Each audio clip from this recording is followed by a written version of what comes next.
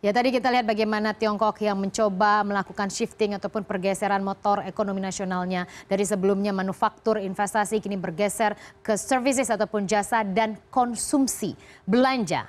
Menarik memang, mereka ingin bergeser seperti struktur ekonomi Indonesia. Indonesia tercatat sebagai salah satu negara dengan struktur ekonomi mayoritas ditopang oleh konsumsi rumah tangga. Lantas seperti apa besarnya belanja masyarakat menopang kokohnya ekonomi sebuah negara? Ekonomi di negeri belanja saya ulas lebih lengkap untuk Anda sore hari ini. Kita lihat terlebih dahulu dari data ini adalah data yang kita himpun, data dari BPS yang baru saja rilis. Kita lihat untuk perbandingan antara tiga bulan pertama dan tiga bulan kedua tahun 2016. Kita lihat posturnya, ini menarik. Saya ke konsumsi rumah tangga. Anda lihat rajinnya saya, Anda, kita semua berbelanja. Baju setiap ada diskon nggak bisa nggak mampir, itu ternyata menjadi salah satu juga hikmah buat ekonomi nasional. Meski beberapa ekonom uh, mengkhawatirkan beberapa waktu yang lalu, hati-hati loh. Konsumsi rumah tangga itu memang sangat sensitif. Begitu daya beli terpukul, maka angka ini akan langsung mempengaruhi. Begitu angka ini dipengaruhi, maka akan mempengaruhi ekonomi Indonesia secara keseluruhan. Kita lihat bersama. Pada kuartal pertama, konsumsi rumah tangga sederhananya rajinnya masyarakat berbelanja menopang 57,04 persen, kemudian mengalami penurunan menjadi 55,23 persen pada uh, kuartal kedua. Artinya apa? Ini menjadi bukti bahwa perlambatan ekonomi sudah tercermin. Apa yang harus dilakukan kalau seseorang melihat data ini maka harus ada sebuah sebuah kewaspadaan. Kewaspadaan, daya beli harus dijaga karena ini menjadi sebuah refleksi. Pemerintah rajin sekali mengeluarkan beberapa paket kebijakan ekonomi, tapi saya belum melihat sesuatu yang sangat spesifik untuk mempertahankan daya beli. Mungkin terlalu percaya diri bahwa masyarakat Indonesia pasti akan belanja. Melambat ya melambat, tapi yang namanya belanja siapa yang bisa tahan gitu. Lalu kita lihat selanjutnya, setelah konsumsi rumah tangga mengalami perlambatan, ini adalah perbandingannya, lalu kita bergeser ke selanjutnya yang diarsir warna hijau kita lihat adalah pembentukan modal tetap bruto. Apa sih pembentukan modal tetap bruto? Pembentukan modal tetap bruto sederhana adalah belanja modal. Belanja modal itu seperti apa? Anda yang rajin makan mie, Anda tahu bahwa 100% gandum Indonesia itu adalah impor. Belanja modal untuk menjadi bahan baku mengolah mie yang Anda konsumsi, roti yang setiap pagi Anda makan, itu dibutuhkan belanja, dibutuhkan uang yang keluar. Uang yang keluar untuk modal, untuk bahan baku tersebutlah yang menjadi perhitungan kita. Kita lihat 33 persen pada kuartal pertama turun menjadi 32,45 persen pada kuartal kedua. Apa ini mengindikasikan apa? Sederhananya produsen berhati-hati ketika berproduksi. Kenapa? Data ini data belanja. Masa orang produksi tidak ada yang beli rugi dong. Jadi mereka tahan dulu untuk produksi dan efeknya apa? Data ini data belanja modal mengalami penurunan. Lalu selanjutnya kita lihat saya ke arsir yang berwarna biru.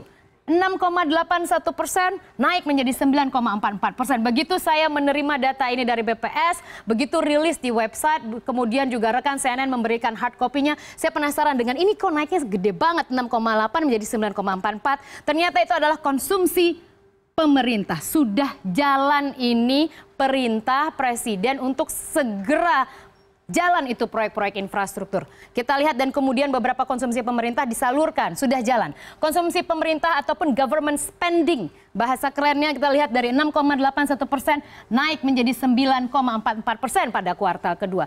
Anda saat ini mungkin tinggal Jakarta masih melewati kemacetan untuk pembangunan infra infrastruktur, ya itu adalah salah satu dampak yang langsung kita rasakan dari angka ini. 9,44 persen peningkatannya. Lalu pada warna kuning kita lihat itu adalah uh, lain-lain beberapa hal lain yang menjadi salah satu bagian dari uh, struktur ekonomi nasional dari 3% turun sedikit menjadi 2,88 persen. Lalu kita ke slide selanjutnya untuk mengetahui masih terkait belanja. Ini adalah negara yang paling gemar berbelanja. Saya pilih ada yang paling rajin berbelanja, tapi ada juga yang malas berbelanja. Kita kadang mikir ya, kok ada sih orang malas belanja? Kalau saya sih punya uang ya belanjain lah, ngapain disimpan? Ternyata pola pikir seperti itu setiap kultur masing-masing negara tidak sama. Kita lihat, yang paling rajin belanja tiga besarnya Indonesia loh, ada berada pada posisi ketiga. Nih Indonesia dengan 119 indeks kepercayaan konsumennya. Ketika konsumen percaya, sederhananya berarti dia belanja. Posisi ketiga adalah Indonesia dengan indeks 119 mengalami sedikit penurunan, tapi kita masih masuk tiga besar. Lalu pada posisi kedua adalah India pada dengan 128 indeksnya lebih baik lagi, lebih tinggi. Kemudian kita lihat pada posisi pertama adalah Filipina. Tiga-tiganya ini negara Asia, emerging markets. Itulah kenapa mungkin kemudian Tiongkok berpikir ya, kok ini negara-negara emerging markets bisa tumbuh ya di tengah uh, gejolak ekonomi. Ternyata konsumsi. Meskipun kita juga harus berhati-hati. Konsumsi itu semu katanya, sebagai penopang yang semu untuk pertumbuhan ekonomi nasional. Tapi ya nggak apa-apa. Buktinya uh, beberapa hal kita asal kita bisa jaga daya beli, maka it's fine. Selanjutnya kita lihat ada yang malas belanja. Oke, sebelum saya ke malas belanja, saya ke Amerika Serikat sendiri. Negara dengan ekonomi terbesar di dunia juga mencatatkan angka yang tidak jauh berbeda, berada pada posisi keempat setelah Indonesia loh. Setelah Indonesia, masyarakat Indonesia rajin belanja lalu diikuti oleh Amerika Serikat. Kita tahu beberapa uh, perusahaan-perusahaan Walmart, Amazon, baik online maupun tidak, semuanya adalah memanfaatkan hobi belanja masyarakat. Lalu ada negara, industri, ternyata masyarakatnya malas belanja. Kita lihat Jepang, indeksnya 69, hanya separuh atau bahkan less kurang dari separuh Indonesia. 69 indeks kepercayaannya, lalu Korea Selatan posisi 63 dengan 45 saja. Korea Selatan berada pada posisi 63 paling malas belanja. Heran ya, Padahal Anda produk Anda juga beli produk Samsung, LG, Anda produk, atau mobil-mobil Kia Anda beli itu berasal dari negara ini. Tapi dia kasih ke negara-negara yang hobi belanja. Ke Indonesia. Begitulah ekonomi bertransaksi di pasar. Siapa yang mereka ini adalah negara-negara industri loh. Ini ekonomi terbesar keempat di dunia. Produksi semua dari sana, produk-produk games dan lain sebagainya. Tapi masyarakatnya malas belanja. Jepang misalnya, lebih rajin investasi kalau ada uang, mereka pelit keluarin belanja. Mereka lebih pilih investasi. Ternyata tidak selamanya baik ya kalau rajin berinvestasi karena masyarakatnya Jepang itu pemerintahnya si Shinzo Abe hanya minta 2% saja inflasi. Tidak bisa loh sampai saat ini. Karena masyarakatnya malas belanja. Jadi ini adalah menggambarkan bahwa kultur behavior behavior ataupun juga sifat masing-masing konsumen di masing-masing negara itu berbeda. Tergantung pemerintah bisa mengelolanya seapik apa hingga masih menjadi indikator ataupun juga penopang ekonomi dalam negeri masing-masing. Lalu kita lihat ini ada persepsi konsumen online Indonesia terhadap resesi. Ini menunjukkan yang menarik dari temuan Nielsen. Saya lupa menyebutkan tadi. Nielsen menyebutkan bahwa data yang mereka peroleh pada kuartal kedua, salah satu yang menopang Indonesia masih rajin berbelanja adalah belanja online. Dan ada tiga ada tiga sebenarnya indikator. Yang pertama, uh, masyarakat online uh, ataupun juga para orang yang suka berbelanja online itu percaya diri dengan prospek penciptaan tenaga kerja selama 12 bulan ke depan. Lalu selanjutnya yang kedua adalah ini, mereka percaya bahwa Indonesia bisa tahan menghadapi resesi.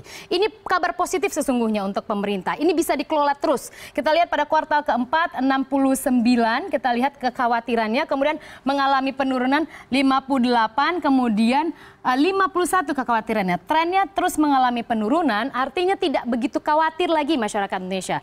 Pedelah bahwa resesi kita akan bisa mampu bertahan. Lalu selanjutnya saya ke slide ini.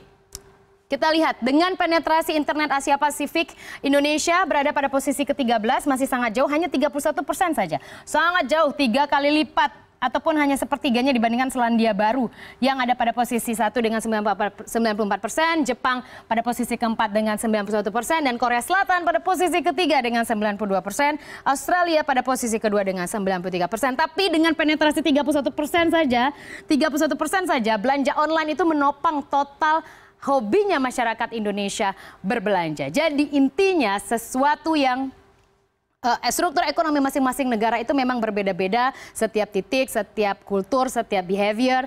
Yaitu tadi tergantung pemerintahnya bagaimana bisa mengelola kelebihan-kelebihan tersebut agar menjadi salah satu penopang ekonomi nasional sehingga ekonomi bisa tumbuh, bisa berputar dan tidak ada salahnya apabila hobi berbelanja namun bisa mengelola seoptimal mungkin.